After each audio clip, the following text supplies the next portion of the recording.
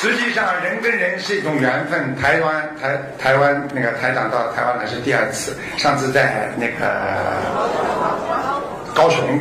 啊，在巨蛋，在巨蛋在里边非常的发起啊，为我们的台湾民众祈福。然后呢，真的啊啊是这个台风转向啊,啊，